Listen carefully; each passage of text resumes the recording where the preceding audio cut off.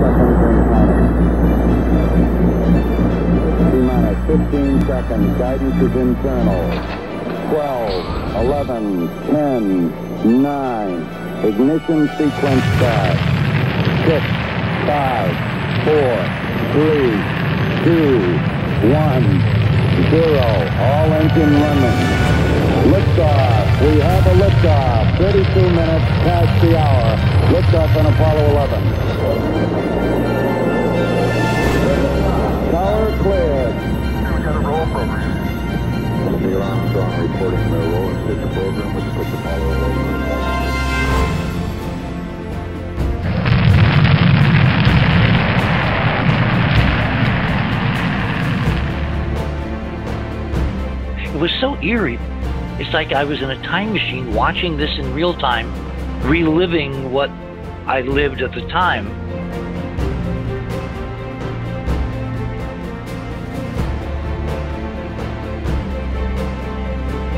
Because when you do, you're going to have opened up for you a panoply of astonishing things that should not exist above the moon.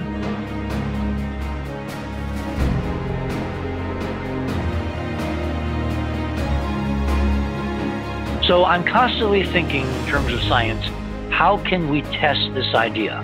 How can we subject this extraordinary, off the wall, insane proposition that the moon is covered with some kind of structure all over a combined surface area equivalent to the land area of North and South America combined?